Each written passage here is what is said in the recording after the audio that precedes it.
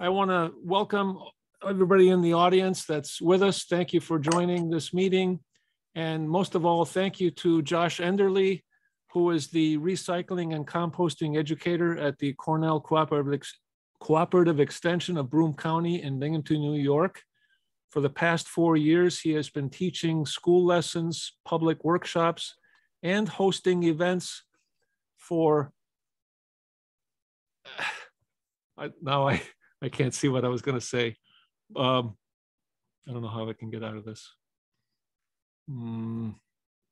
Oh, Josh can tell. Okay, okay. so ho ho hosting events for free access across the county.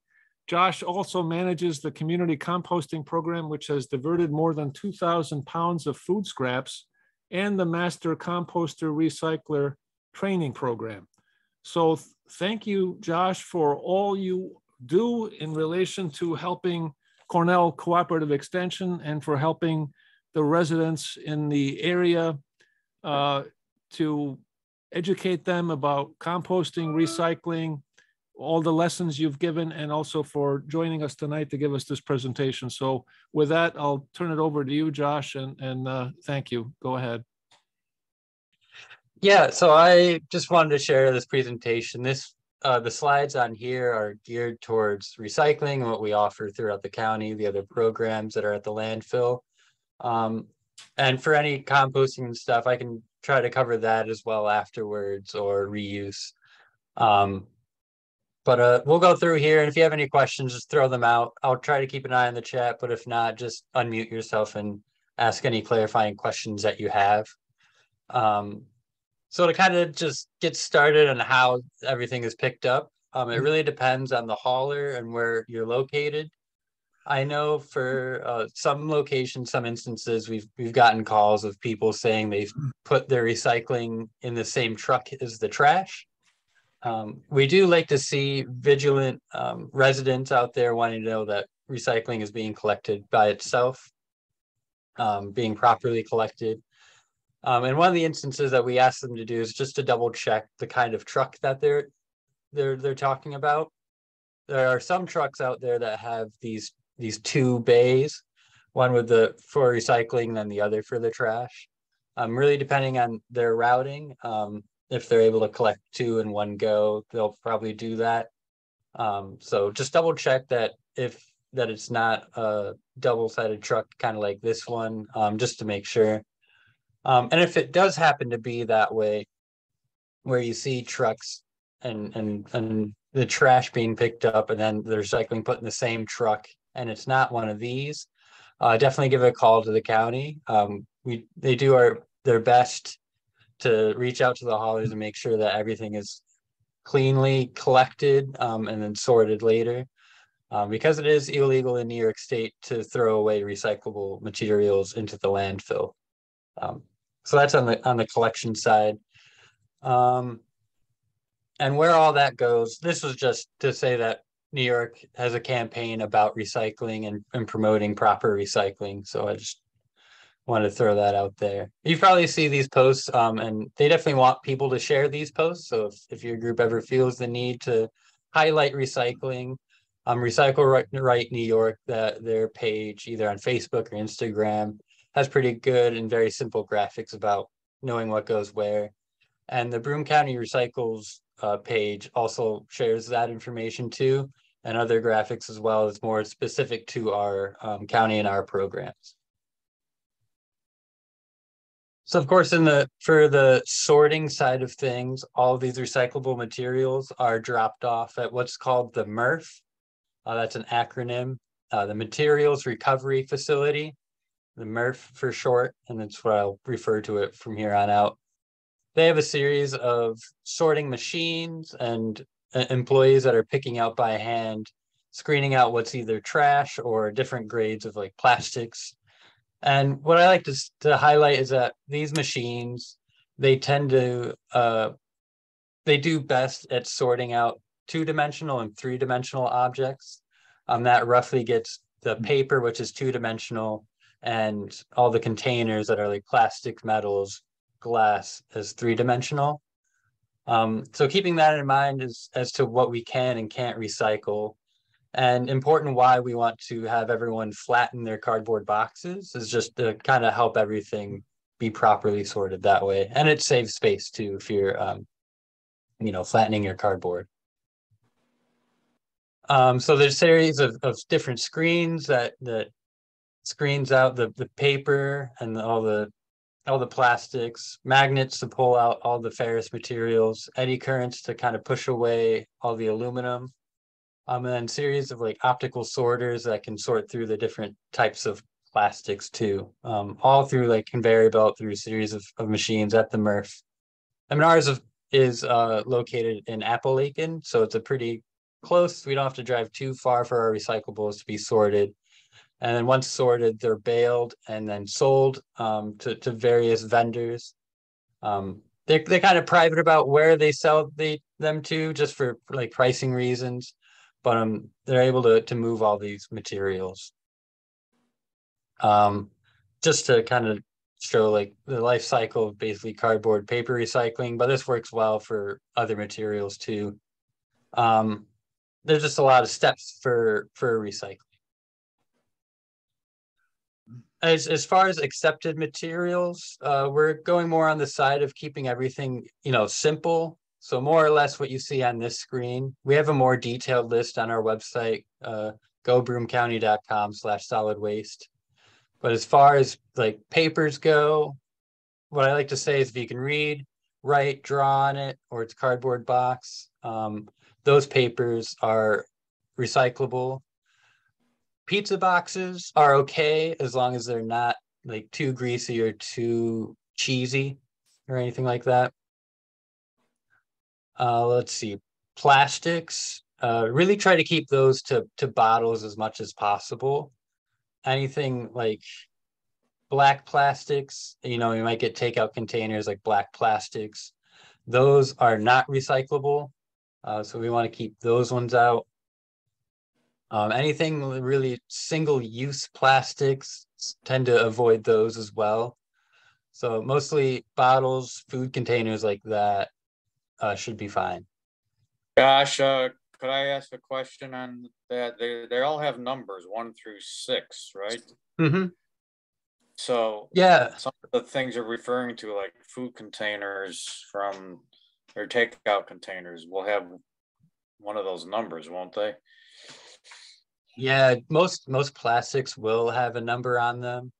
Uh, and usually they're surrounded by a triangle and more often than not the recycling symbol, right? The chasing arrows symbol.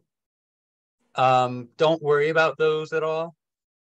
They say what kind of plastics they are, the way that we sort out recyclables, we don't necessarily go by that.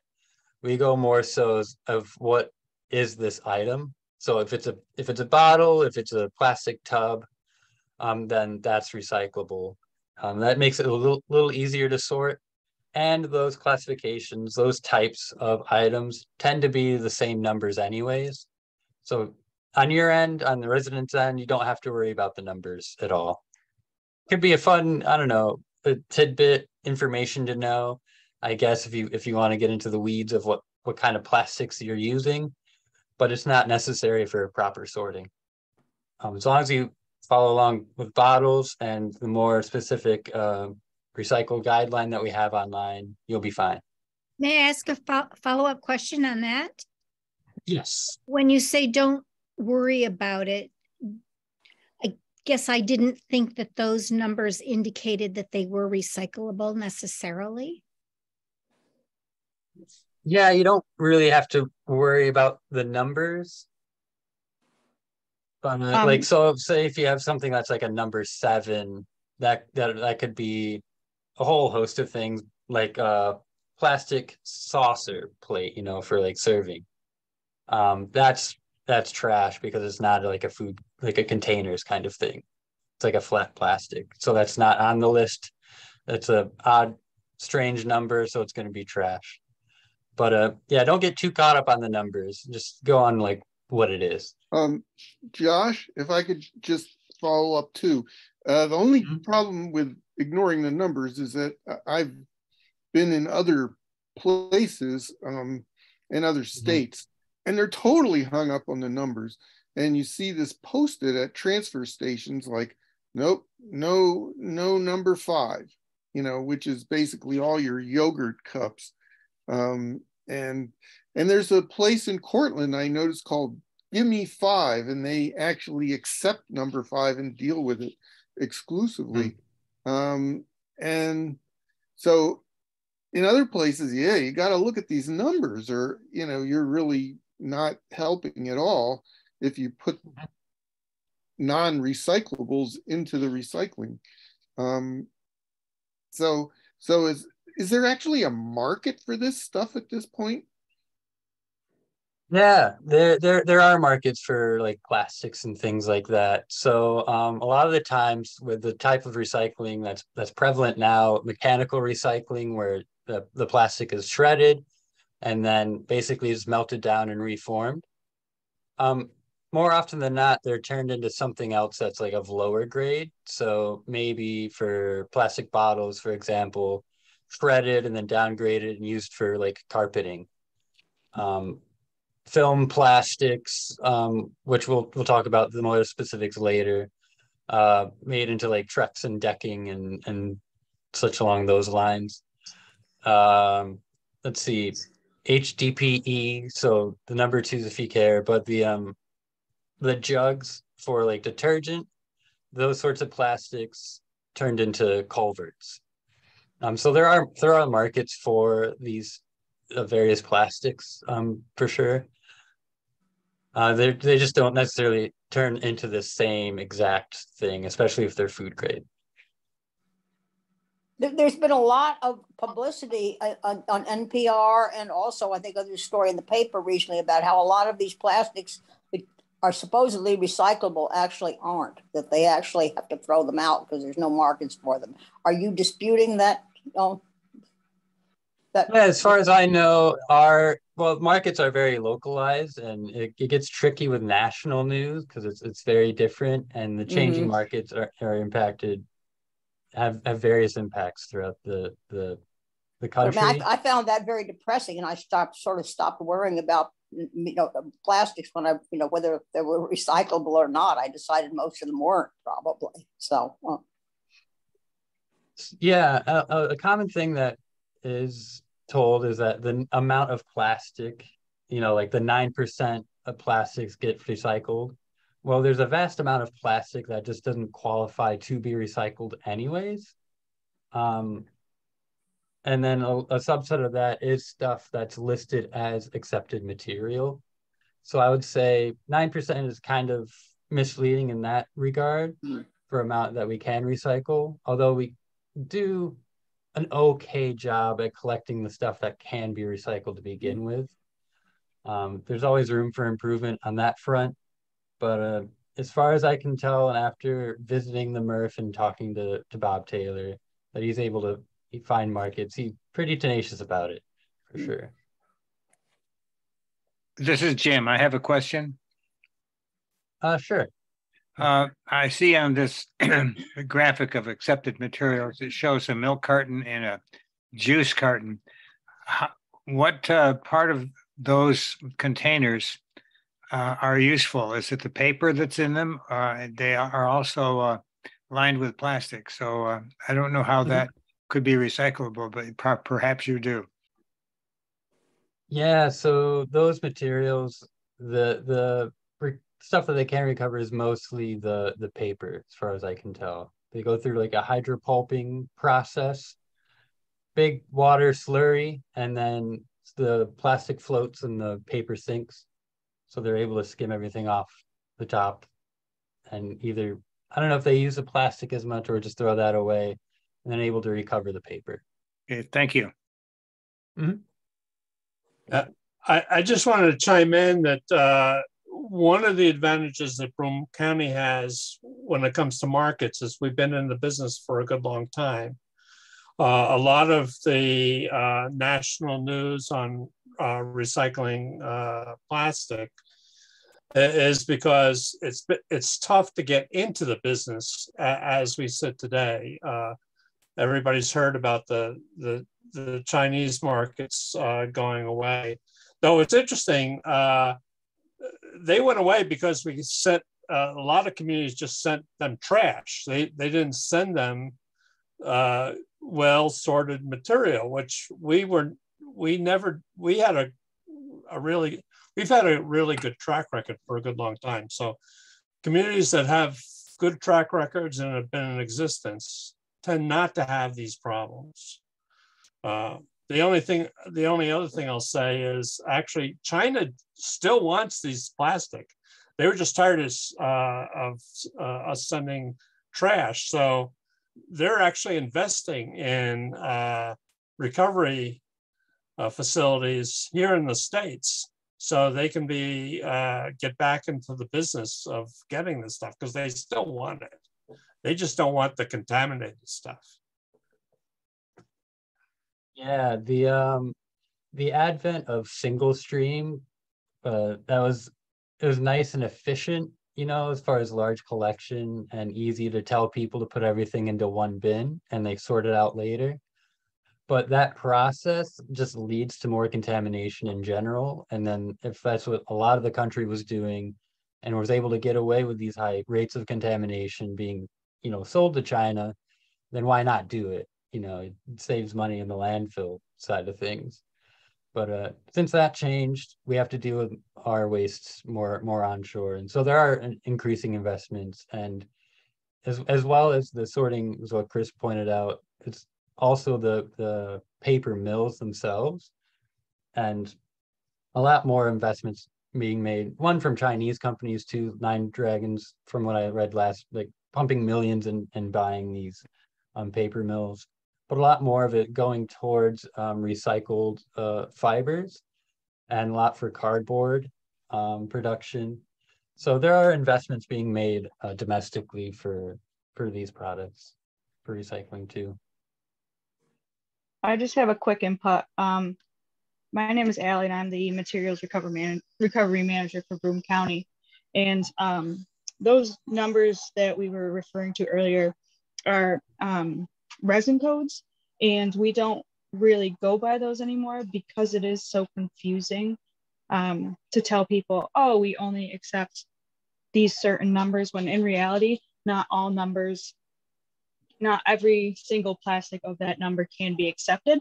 So we try to refer to things as groups like bottles, cans, um, clamshells, things that are and aren't recyclable in that format. Um, it just pretty much tells everyone what material that it's made out of, not necessarily that is recyclable. So not don't believe everything you see about the resin codes because even if it has chasing arrows on it, it's not necessarily recyclable. But even things like film plastics, um, may have the chasing arrows on it, but it's not always re uh, recyclable in our curbside program. So like film plastics can go to big box stores, but they cannot be in the curbside bins. So even though it's not recyclable in our program, it is technically recyclable. So you kind of have to be a little aware of that. It gets kind of tricky when you refer to numbers. Like I went to school in Pennsylvania, and when we were going through recycling days, we'd have to separate our recyclables into like numbers two and three, and then cans and aluminum cans and bottles. So different counties process things differently depending on the capacity of their MRFs and their sorting program. So that's a little tricky, but we do have that recycling guide on our website, and you can always call or email us if you have any specific questions on if things are recyclable or not.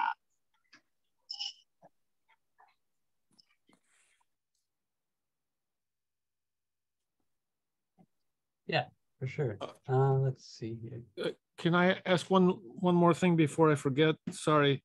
Uh, Josh, you mentioned you had spoken to Bob Taylor. Does he work for Broome County or, or does he work for a private company? Uh, private company, uh, Taylor Recycling. Yeah. Oh, Taylor Recycling. Taylor Okay. Yep. Taylor, okay. And this facility you refer to as MRF, what is the actual acronym and what does it stand for? I didn't catch it. Yeah, MRF. So Materials Recovery Facility. Okay, thank you. Uh, so as far as accepted materials go, um, I can either throw in the link later or send that in an email so everyone has that um, sorting chart. Um, so this is, yeah, the, the resin identification codes. This is just what they tend to be. Um, I'll just move on from that. Uh, so we are highlighting uh, what can be recycled versus what can't, and the New York State has been coming out with information uh, about uh, common contaminants in the recycling stream. A lot of them being like tanglers, so things get that get tangled up in the machines, as you can see in this picture here. And all these stars, there's the like plastic bags. Sometimes there's even like ropes and hoses and um, ribbons, like plastic ribbons all these sorts of things get physically caught in the machines where they have to stop uh, stop stop everything and cut them out and then once they cut them out then they can continue uh, sorting um, it is a, an, an, issue and it's something that they've highlighted at our lo the local facility too um, so plastic bags and making sure that people don't bag their recyclables keep everything loose in your recycling bin as much as possible to avoid this situation. So is to get more into specifics about what kind of things or how to prepare your recyclables uh, for paper and cardboard, it's like the credit card rule. If anything is smaller than a credit card, it's going to be too small to go through the whole recycling process. Um, quarter sheet I think is is really good, but credit cards is is what we kind of go by um as far as for for sorting just because it, it is too difficult for the people to either physically pick out or just falls through the sorting machines themselves um and they'll just end up in the regular mm -hmm. garbage so if, if anything smaller than the credit card just just throw it out uh, when it comes to like bottles and things and food containers, uh, as, as much as, as possible, rinse them out. Uh, I try to keep them towards the end of my dishwashing. I don't have a dishwasher, so I have to do it with, with the sink. So I wait until the water's already hot out of the out of the sink, throw a little bit in, just give it a, a quick shake, and then dump, and then recycle it that way. Because I would say um, what you, you see in the picture in the jars, just a little too dirty and and, and for, for my liking anyways. So either rinse it out really quick with water or just get like a rubber spatula and scoop out as much as possible.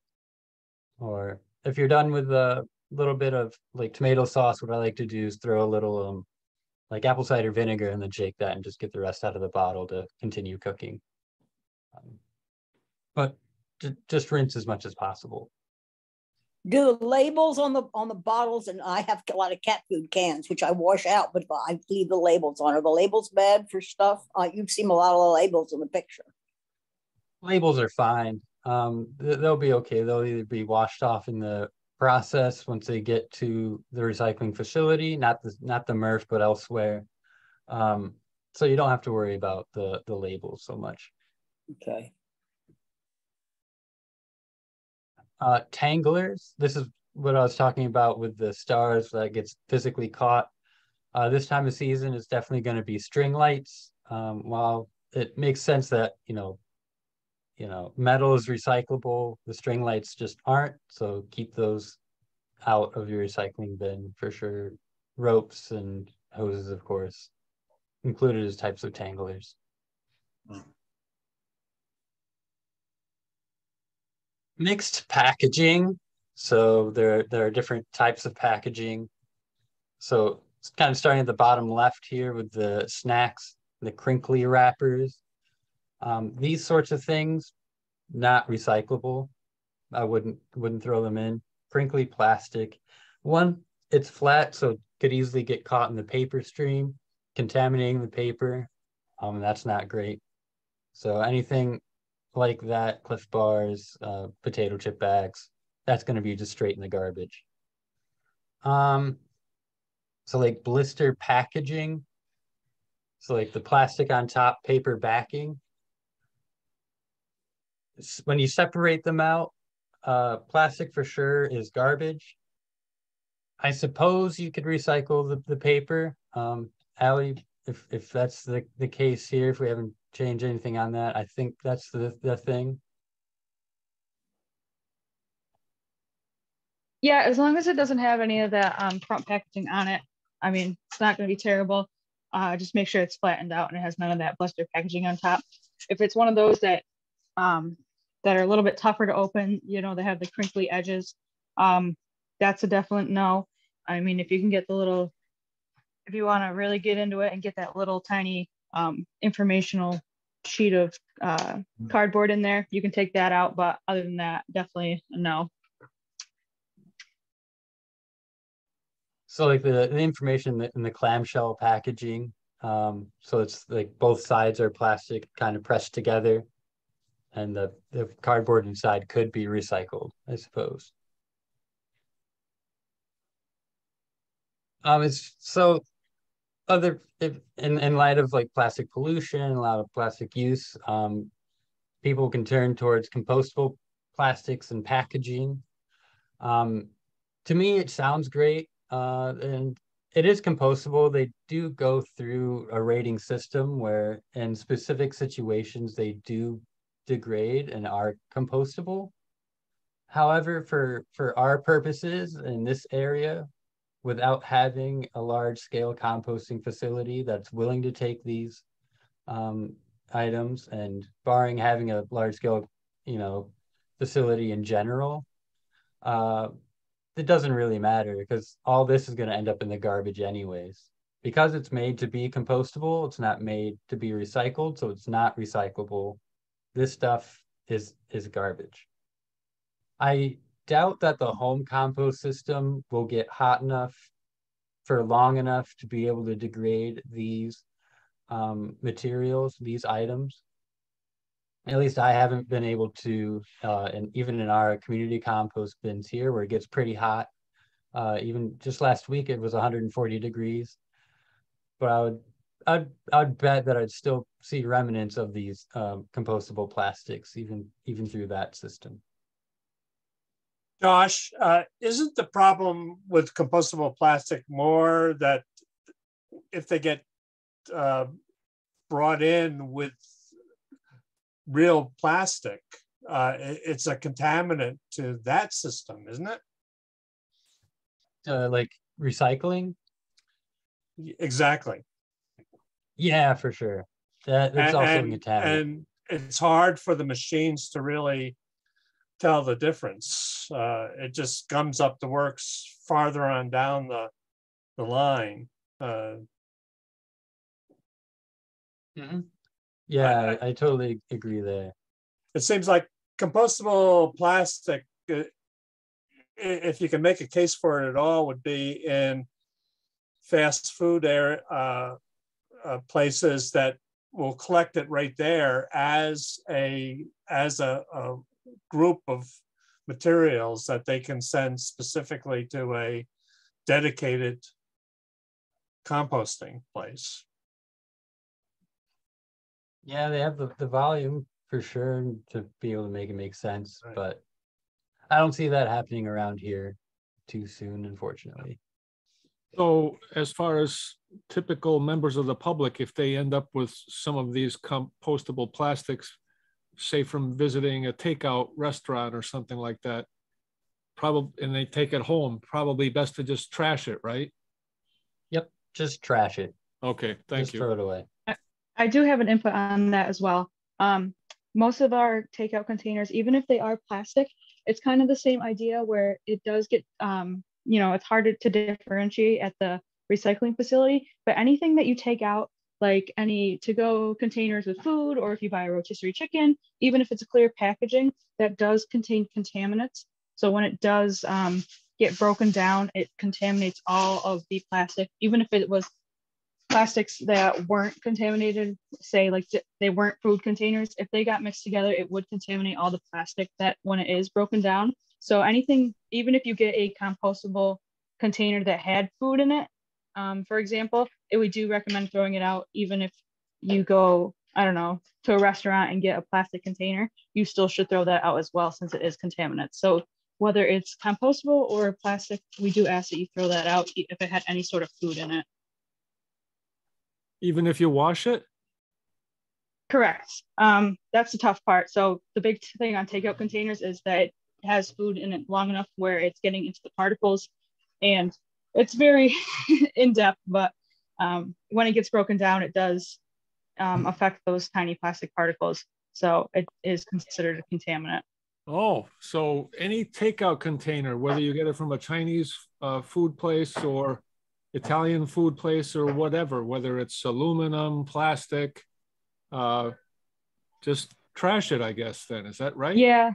Yeah, that's an unfortunate part about um, doing takeout is like, for instance, I went to Tally's tonight and got um, chicken tenders. And for one, the bottom part is black, so that's not recyclable.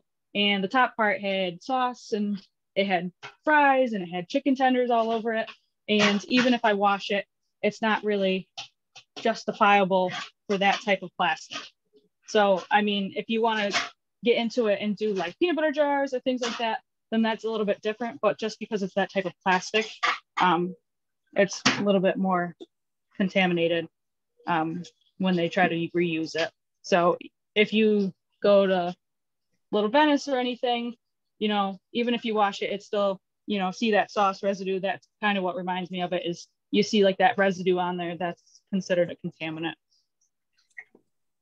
So that's the tricky part about to go containers. I mean, if you get the thicker ones like from Chinese food, um, you can reuse those. I reuse those for Tupperware and then use them until they pretty much go bad. And then I chuck them just because they have food contaminants on it. So the typical things you get at Wegmans, like strawberries or easy meals, or I mean, they're pretty much all trash. Uh, yeah, they're considered clamshells, so we consider clamshells as garbage. Okay. Unfortunately, it's I- one of those I things just- that's tricky. But um, you think you think it's recyclable, but it's considered a clamshell, and we don't recycle those because of the So contaminants of basically, food. If it's a, this rule of thumb is if it's a clamshell, um, you, you trash it. Pretty much, yes. Okay. Is- That's is the that worst part about is- it. Is that because of the food contamination, the contamination from the person or the plastic contamination? It's because of the food contaminating the plastic. What about aluminum containers? That gets a little different. Um, if you can get most of that out, um, I don't see many people using aluminum containers, but um, we usually trash like if it's got like sauce or something. That's where I usually see it is like like spaghetti. If you But if go you to s- like Nick's or something. If you scrub it out, it's okay to recycle it. Um, we usually just say when in doubt, throw it out, just because of the contamination with food. Okay. That's where it gets hard. Uh, Um, go ahead, Josh. Sorry.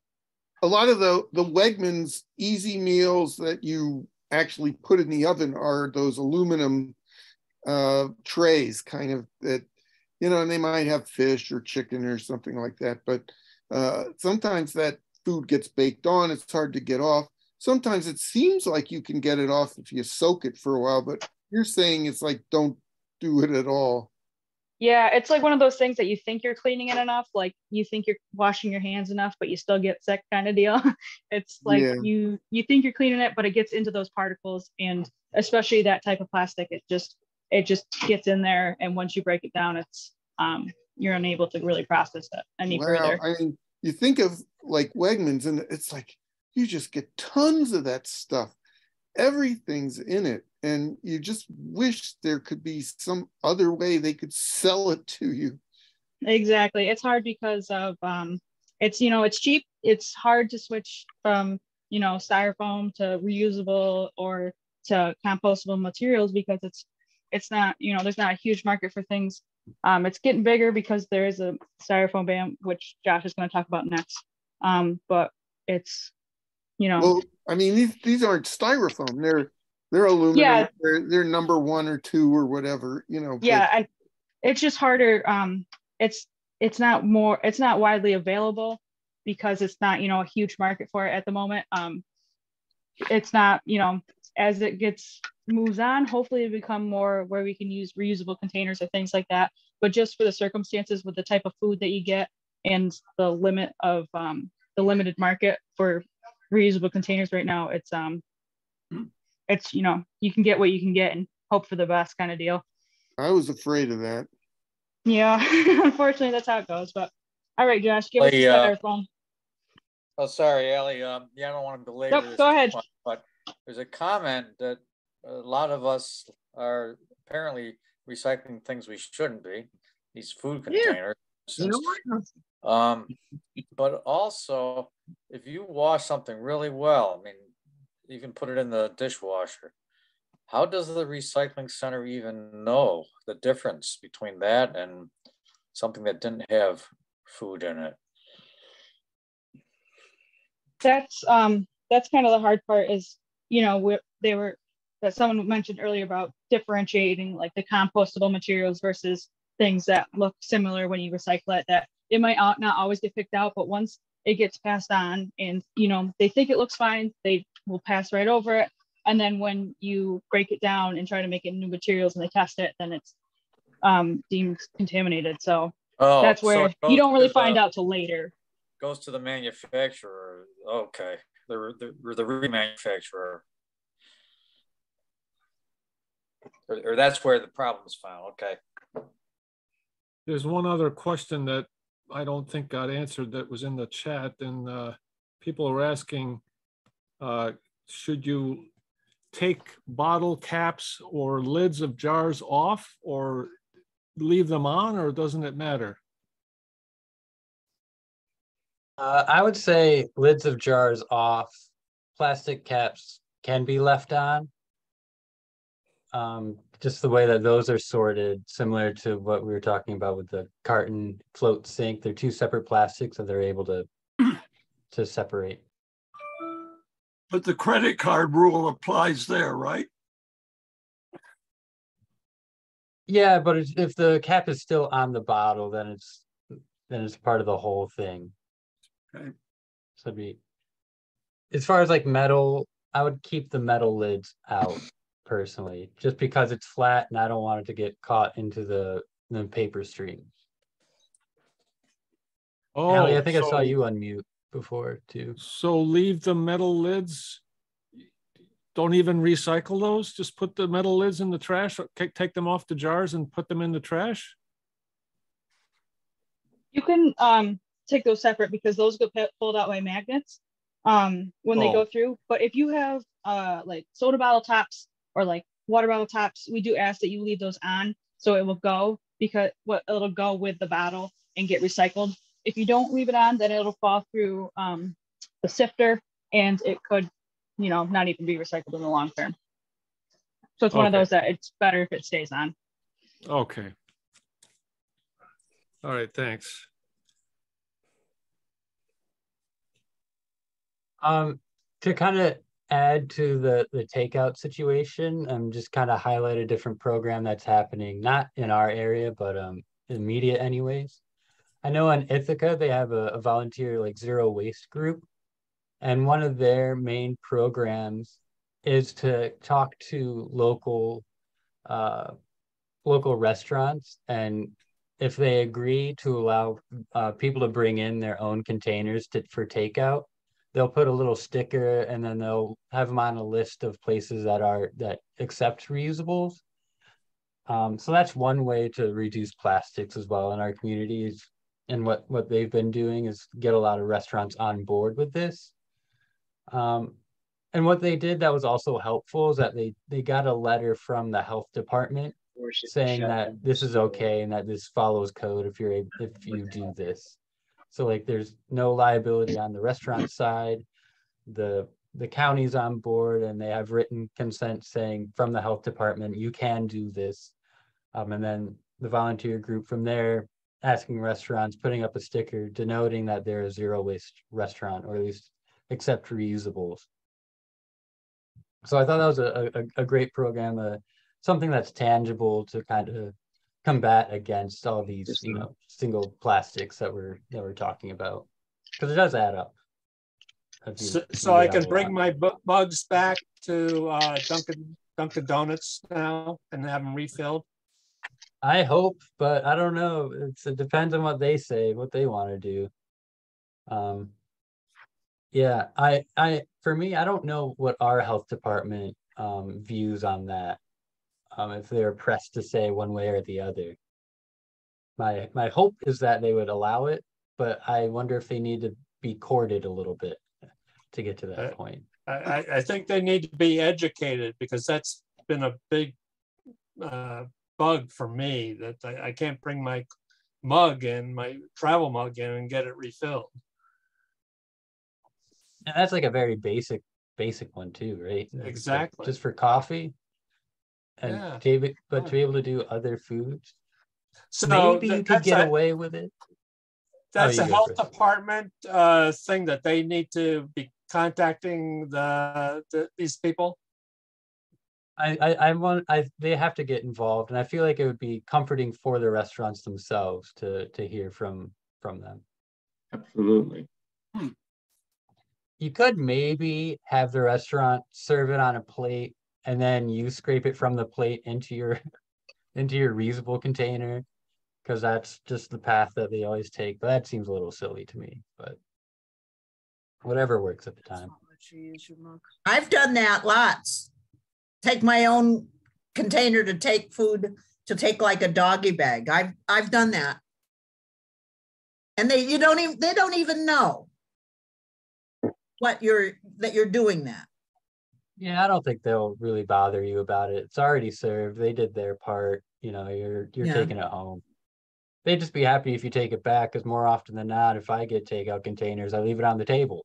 So Well, why don't you take it with you somehow? Recycle it. Let's see. Um, to plate.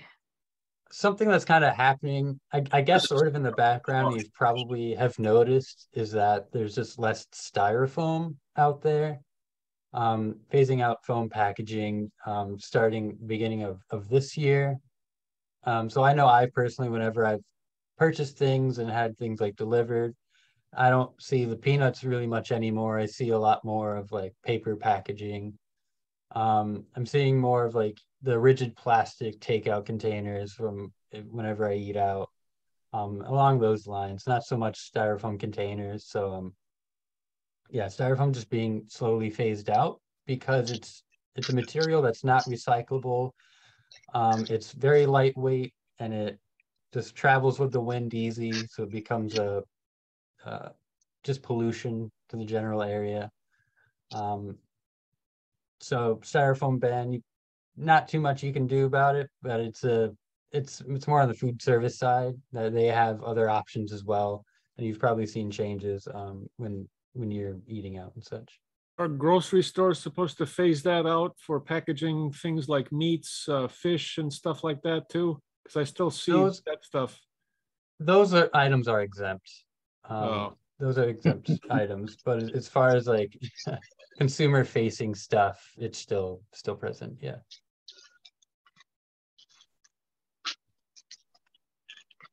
Uh, let's see, film plastics, we talked about this a little bit before, but there are various types of, of plastics that can be recycled through these sorts of programs, but not at the curbside. So film plastics, um, think of them as, as stretchy, strong plastics. So we're talking like over wraps, bubble wrap, um, air pillows and packaging, sandwich bags, produce bags, bread bags, uh, newspapers, wraps. All these, they're like the stretchy plastics, and they're considered film plastics, which can be taken back. Usually, most grocery stores have uh, receptacles outside into the front. I know uh, Wegmans definitely does, and it's almost always overflowing. Um, plastic shopping bags, if you're if you have those around still, those can be taken back to those uh, collection sites too.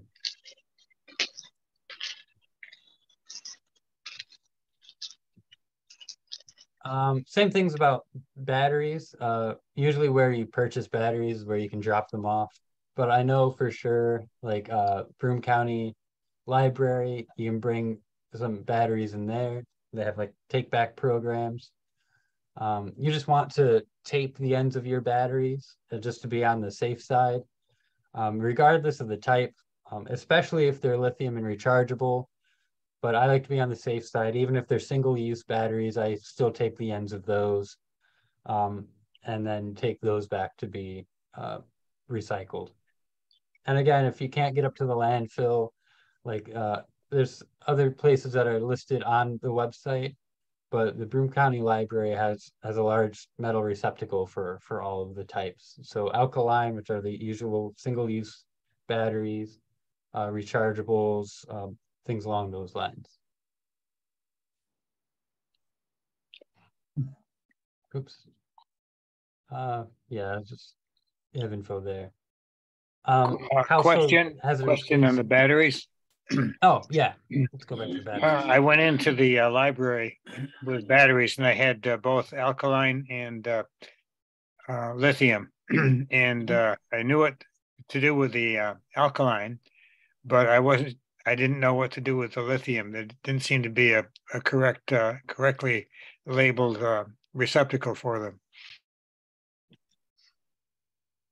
So they didn't have a spot in the in the library for one? Uh, I think they had re- rechargeable and uh, single use. That was the seemed seemed to way, be the way they broke it down. Your lithiums are rechargeable. I, I think that that's correct regarding the county public library. I think that if you wanna have a place for lithium batteries, Lowe's and um, Home Depot are better.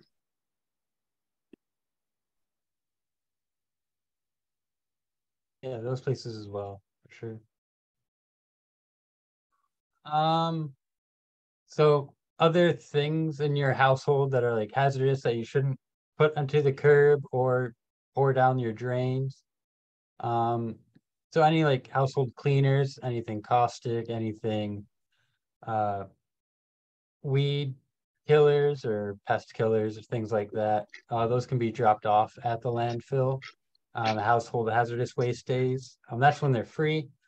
Um, I don't know what the schedule is for twenty twenty-three, but I'm pretty sure we have most of the year laid out already. So if you have any of those things paper. and thinking ahead when you're doing spring cleaning, was in the or maybe just worry about it in the spring. Then you can collect all these uh cleaners and and chemicals that you have in your house, garage, wherever, and then dispose of them there properly. Um, don't recommend dumping them down the drain. Uh, just wait until household hazardous waste day to take care of those. The, uh, the twenty twenty-three hazardous waste, uh, schedule was in the Binghamton Press, a big yellow article. Designed to be cut out. Was in probably three times. Perfect. I don't get the paper anymore. Used to, but not anymore. Uh, not surprised. It's pretty pitiful. It's it's the the American press, it's AP as far as I can tell, and maybe a couple local stories. Uh, as far as electronics recycling, things that are accepted, they're also accepted in the household hazardous waste days. Um, again, electronics not to be put on the curbside, but to be taken to special locations like Staples, Best Buy, um, those those locations. So monitors like printers, really old TVs, um, those sorts of things are electronic that are qualified for recycling. Um, what don't qualify are small electronics and uh, countertop appliances. Well, as in like what's pictured here. So blenders, coffee makers, irons, food processors, those are all like mostly garbage. Um, well, mostly plastic, so they are to be thrown into the garbage. They're not recyclable. Uh, what about uh, old cell phones? Old cell phones, I'd take those back to like Best Buy or phone repair shop or somewhere like that for them to to to deal with. Or alternatively, keep them in your drawer for decades. But uh, Well, that's you want to get to do some spring clean. I, and of course, the main fear that we all have is uh, unless we totally destroyed it, we, you know, that data still may be readable. Um, and Mm. one doesn't want that to happen. Yeah, that's for sure. Um, I guess you could either lock yourself out if you're worried about that and make sure they can't lock, you know, log back in, or just take it somewhere that you trust that'll that'll dispose of it properly. Wipe it as much as possible just to get the info off. Let's Same with old computers. Yeah, those at least with a hard drive, if you have a if it's a regular hard drive, you can just run a magnet over it or just impale it so it's can't be used again. So then they can't get any info from it. So it's better to like one thing with a with a desktop where the, the, it was kind of big enough you could take it apart, but laptops are a little hard, you know, to to do that. Um, Yeah, yeah. In my, from what I can tell, um, so I've I've been like trying to learn more and more about like repairing electronics, uh, computers and cell phones and things like that. Um, I'm hoping that the trend that people are have been fed up with the fact that they can't repair what they own. So it's like, do you even own it if you can't fix it yourself? Uh, sort of sort of thing. So I'm hoping in the future, um, there the computers are becoming more and more repairable, and that that's the gold standard. I know of I, one I company. believe like- actually in in the um, climate action plan, uh, it it does in fact, uh, you know, endorse the idea of things being repairable. Right. I I sure hope so because it saves on a lot of electronic waste, so you, you don't have to you don't give up on it too soon, or you know have businesses make replacement parts available for purchase and and anything along those lines, or make things work with third party parts. Uh, because I know Apple has has definitely been guilty of that, where even if you buy two of brand new iPhones, swap the screens the internals know that it's not the same screen and it won't work properly because of that. And that's a software thing. That's like an intention. That's a, a choice the company's made to make that happen. So, um, but yeah, there's a whole whole host of things that could be done better in terms of repairability in our electronics and and things like that. As far as physical materials, uh, we promote reuse as much as possible. There's a space called the Eco Center that's at the landfill. So if you're doing any repairs and you have items to to donate, uh, please drop them off to the Eco Center. Um, you can definitely use them just to keep it out of the landfill. It's still usable and hopefully can be used in, in, in future projects. Who, who can get that stuff? Who can what? Who can uh, pick up those uh, materials? County county residents. Okay, Yep. thank So if you, if you know any, if you have any friends that are contractors, definitely encourage them to to drop off materials in this uh the, at the Eco Center if they don't need it for future projects. Um, I will say, um, there is interesting information, um, happen, or things happening statewide, conversations happening statewide as far as um, building materials, reusing bu- building materials and deconstruction. So if there's other like future meetings that you have that want to go more in depth or just in general for general knowledge, I know there's a, a organization called Crowd. Um, what's like what's that? Circular circularity, reuse, and zero waste development. So Crowd for short's the acronym. Um, and they're a group um, based in Ithaca, but like with statewide stakeholders that are looking into um, building like the economic infrastructure, like both physically and then also through legislation, things like that, to promote deconstruction of homes and buildings versus just demolition. Um, there was the they had their first summit this year, and I think they're going to continue to to have meetings and promote deconstruction, having policies in place that require like surveys of of buildings to say how much material can be harvested from this, um, what can be reused, um, and so on and so forth. So that's more of like a kind of developing thing. Um, it's really exciting to see because it's a lot of waste. Construction and demolition is just a lot of waste that takes up in the landfill. And most of it just could be reused or recycled. Um, so I'm really excited about that development. Uh, more information can be found on, on their website and, and all that. So, um, and I can send that info out as well to uh, links and stuff for everything that I mentioned here. Um, what else is offered at the landfill? Uh, earth machines are for sale. Maybe not the best time to start composting outdoors if you haven't built a bin yet, but uh, for sale for forty-five dollars, cash or check. maybe in the springtime, if you need a new composter, uh, this could be an option. Um, textiles, so clothes and things. Um, use it as much as you can. Um, donate what you're unable to use that other people can use.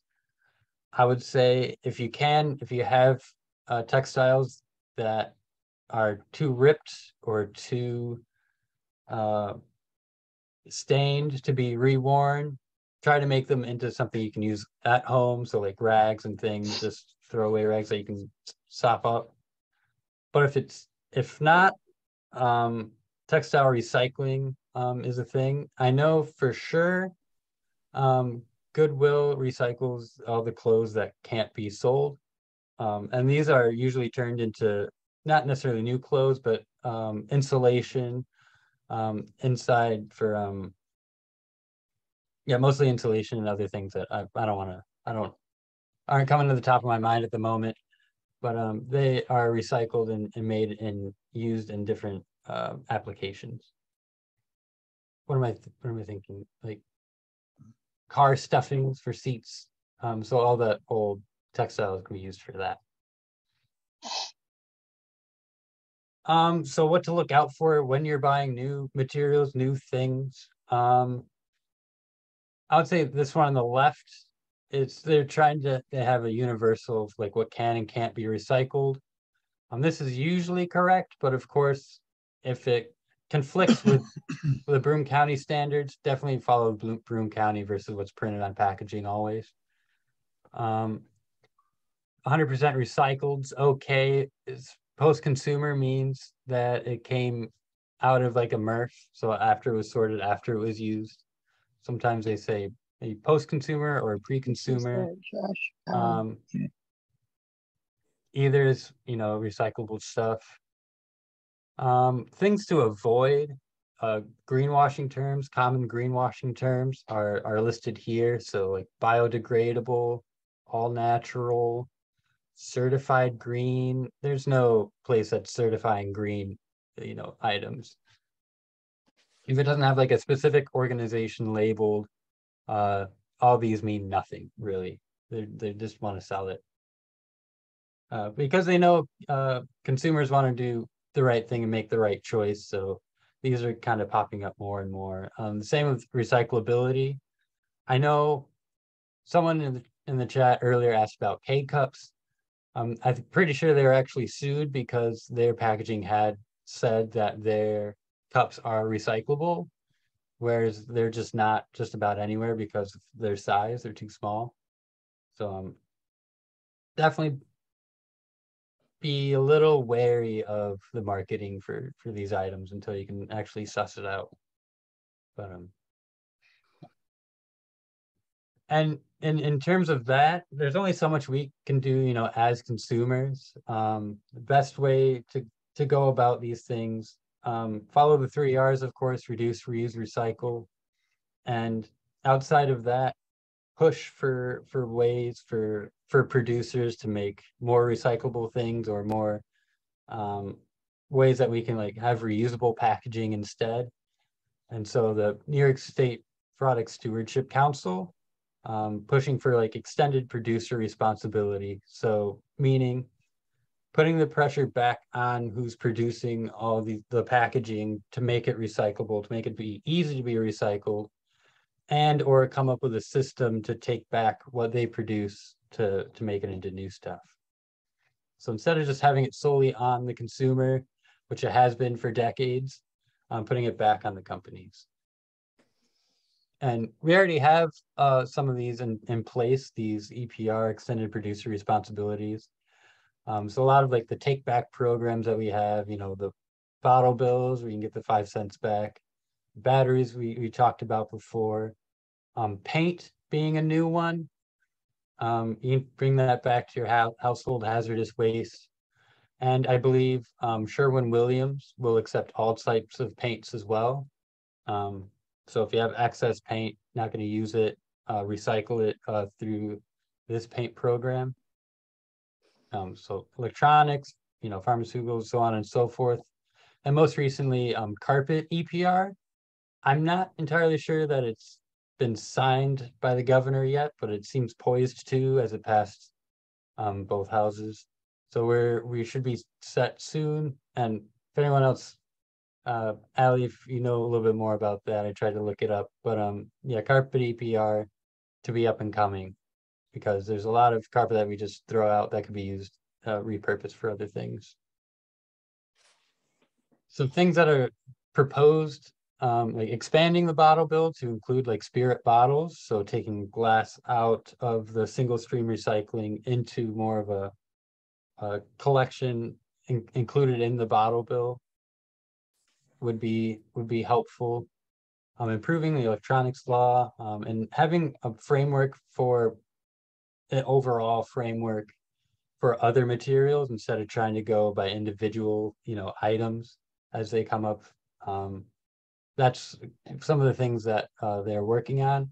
And I know Deb Smith is is in the Product Stewardship Council, so very involved with the drafting this kind of legislation, um, which is what I'm excited about. You know, Broome County for us, like we're we're we're trying to push more for EPR. Um, we do want to reduce, reuse, and recycle as much as possible. So, um, yeah, and this is probably one of the best ways of, of, of going about it in conjunction with, of course, individual action and recycling as much as you can. Um, so yeah, that's that's more or less it for what's happening in Broome County.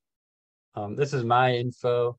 Uh, if you have any other further questions, I'd be happy to answer them, and or be able to send out uh, other information later too.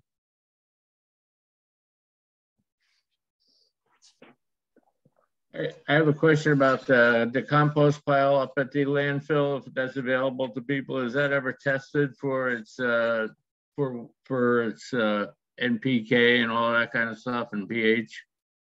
Uh, no, I don't believe that it's tested. You could test it on your own. Um, generally, compost, if it's done right, it should be fairly neutral um, for pH, anyways.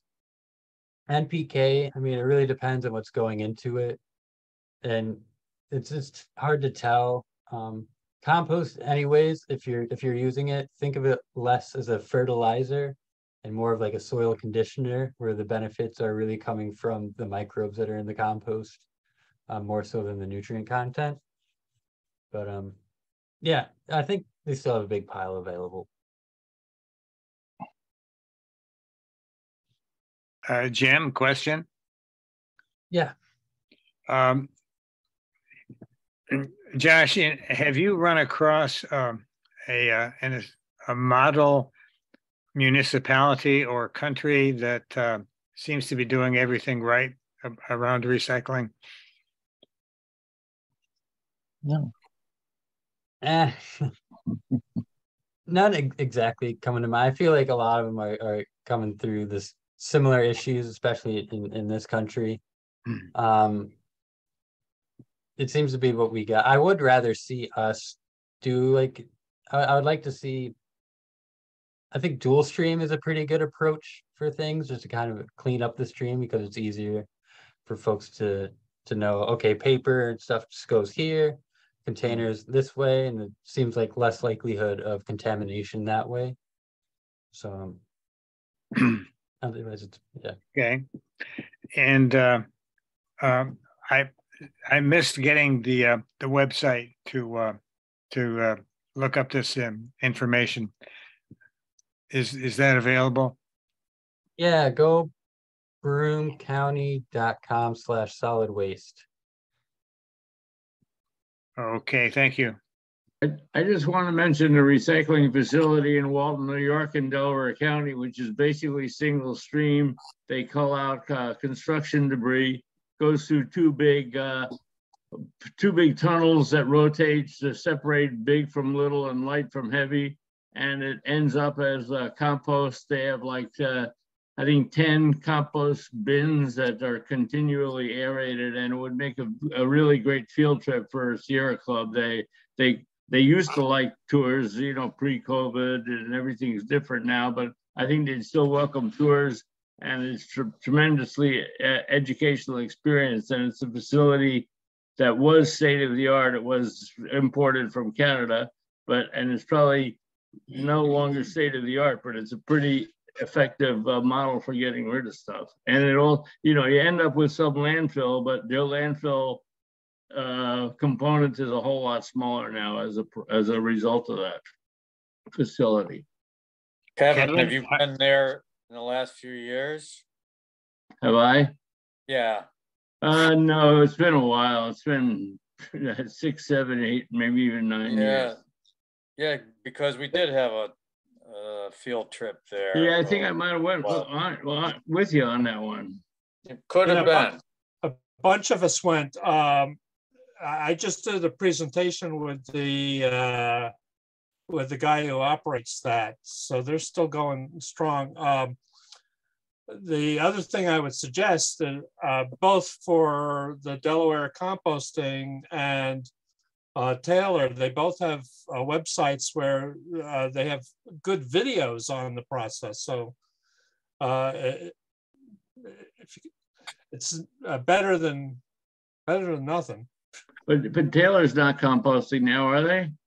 No, I, I uh, Delaware County for the composting, but Taylor for uh, the MRF.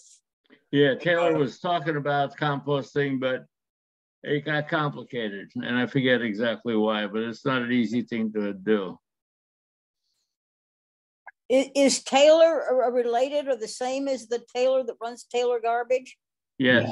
Yes. I, would just also like to say that I have been separating paper and plastics and uh, glass ever since the very beginning. It's simple as can be. I just do not understand why it seems to be, they think it's so hard for the general public to do it because I, I just find it just easy as pie and I still keep doing it even though I don't need to. Yeah, I, I do too, but uh, I I, think I know it doesn't work, but it just annoys me. I mean, it's just, it seems so Josh easy to has a, the right idea with the, uh, we should at least be separating the glass out again, because the glass can break and that's, uh, that's a big contaminant with the paper. It's a hazard um, for for sorting for sure. Um, because at, at the facility, all the all the bottles are crushed because it's a lot more efficient to to ship them as call it, you know, crushed glass. So Um, Josh, one last uh, question, which is, it seems like uh, we we have uh, our uh, you know trash and recycling pickup in Southside Binghamton on on Tuesday mornings, which is very early, and so we put it out the night before. It it seems like it always rains or, or snows that night, and so I'm wondering about how how important is it that the paper recycling stays dry? it's definitely helpful if the paper is dry. I understand it's not always possible. Um, it would be preferable to keep it as, as dry as possible. So if, if you can cover it somehow or put like one large cardboard box on top so it soaks everything up, you know, kind of thing. Um, as far as I can tell, it seems all right. Not ideal, but it seems all right. If it's gonna pour overnight, maybe don't don't set it out. Try to get it there in the morning, but um, yeah. I, I don't, I don't know about in Broome County, but in Tioga where Taylor picks up the uh, recyclables, it's in a bin with a lid. And it's in one of those trucks that picks up the whole bin, dumps it in and puts it back down. So it's got a top. No, we don't have that in Binghamton. So uh, we get these open, you know, recycle um, bins from the landfill actually, and and uh, they don't have a cover. Hmm. I have a question about political signs. They're sort of a plastic, but they look like corrugated cardboard, but they're plastic. Is that recyclable or is that trash? That's trash. It's, Bummer. it's political. What about foam The, uh, the metal stands you can recycle. You should be able to, they're metal. If you if you take them to someplace that does scrap metal, Oh, you, you don't want I- to put those in the recycle bin. Cans only, just two cans. I, I put a link in the chat and that goes to the Broome County Recycle Guide. And let's see, recycling program basics here, maybe the, the s- And- and second I link put will be a, better. I put a link to the uh, hazardous waste. They do have the schedule out on their website. Oh, perfect. Broome County, Broome County does. Yeah, I haven't seen the chat the, the whole time I was presenting, so sorry if I missed something. Well, yeah, let's just ask anybody that put something in the chat that thinks it didn't get addressed to speak up then. That makes it easier on us and Josh. I, I have a question. Uh, recycled bottles were, got five cents a, a bottle in the nineteen fifties. Why has that price not increased to stay, to keep up with the times so that people really did recycle them or at least return them? Yeah, the programs that have a higher deposit rate, they have a, you know, just a higher recycling rate too. So I've Okay, was- I was it don't need to. Michigan, this one. somewhere that has like ten cents, they have like Yeah, eighty-five percent return rate versus like New York, which only has like 70, 75 percent. Um, so that's, that would be included in the bottle bill expansion would, I would, I would like to see anyways, an in- increase in price. Um, there are other entities that would be against don't know how that, so like the grocer or maybe even the the the beverage companies themselves because they don't want the prices to be higher, you know, putting it on the know, yeah. consumer and all that stuff. But um, I don't know, a higher higher return rate would incentivize people to re- actually return it, and then it'd be a higher rate of return if the if there was a higher deposit. Uh, one more on the, the glass recycling is, uh, seems like uh, a lot of bottles, they have like, oh, a foil wrapper or a plastic wrapper kind of at, at the, where the top is. And it's, it's sometimes hard to get those off. Does, do they need to be off though for that bottle to be recyclable? Um, it should be. I I mean, if you want to try to get take them off, take them off. But uh, they should be able to be washed away after the glass is crushed. Like, I mean, some of them are like metal, like wine bottles, you know, and it's like you you might actually cut yourself trying to get them off. Um, but and and obviously they're a different material than the glass, so I guess so we should try to get them off if we can. Yeah. Okay. Is colored glass all right? Brown? I'm pretty sure. Yeah, Allie, I just wanted to check with you on that. Um, yeah, clear, brown, green. Pretty sure. Yep. Yeah, I know it is. Wine too. Thank you. Well, Josh, I don't know. uh, Any other last questions? It's close to nine. It's a holiday week, so maybe we should let Josh uh, take the rest of the day off, but uh, is this it for everybody? Many thanks. Yeah, thanks. It was very Thank you. interesting. Josh and and Ally too. I, Thank I have. I have one comment to everybody. If anybody has an idea for a speaker to give a future presentation, please contact me or somebody else on the executive committee uh, to let us know. uh, Because we are still trying to get lineup speakers for the spring. Right now, we only have January filled up. We've sent some, you know, messages out to a couple of people for February, March, but so far we haven't had luck getting a response. So it's, it's not as easy as you might think.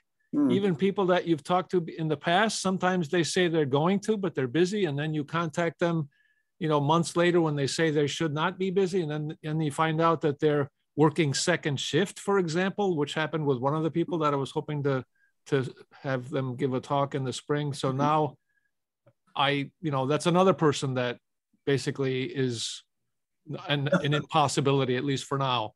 So anybody that has ideas,